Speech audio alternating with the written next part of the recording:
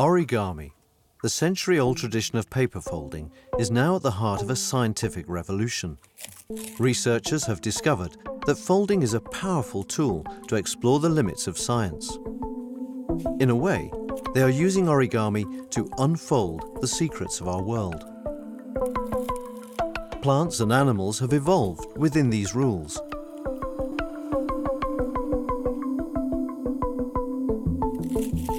And also our human body could not exist without folds.